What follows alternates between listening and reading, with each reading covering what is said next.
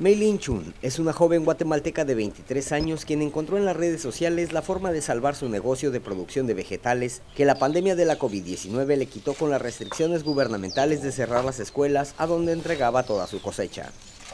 Semanalmente, junto a muchos otros productores, entregaban alimentos frescos y de primera calidad a las escuelas del municipio de Tejutla en San Marcos, pero con la llegada de la COVID-19 todo cambió y tuvo que innovar. Su creatividad la llevó a crear su propia fanpage, con lo que incluso dice haber rescatado su negocio. Anteriormente nuestros productos eh, los entregábamos a las escuelas, pero debido a la pandemia eh, tuvimos que usar otras nuevas estrategias como por ejemplo utilizando las redes sociales para poder comercializar nuestro producto y poder ofertarlo. Por lo que tuvo la idea de comenzar a vender por Facebook ya que estaba familiarizada con la red social, en parte por ser la más joven del grupo. A través de esto nos ha mejorado un poquito más porque es decir, eh, se sube todo, se promociona el producto a redes sociales, eh, nuestros amigos nos ayudan a difundir la información a través compartiéndolo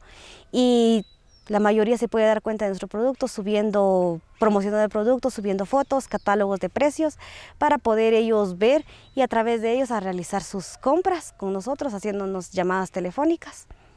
La organización de la red consta en publicar cada sábado un anuncio en la que ofrecen los productos agrícolas e ingresan pedidos. Hoy en día, sus principales clientes son hospitales y centros médicos, pero también familias que realizan periódicamente sus compras porque confían en la calidad e inocuidad de los productos.